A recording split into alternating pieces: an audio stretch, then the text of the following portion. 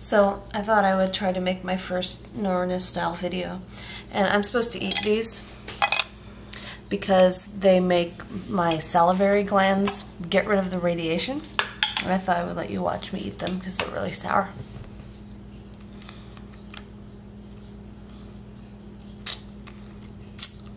Yeah. Oh man.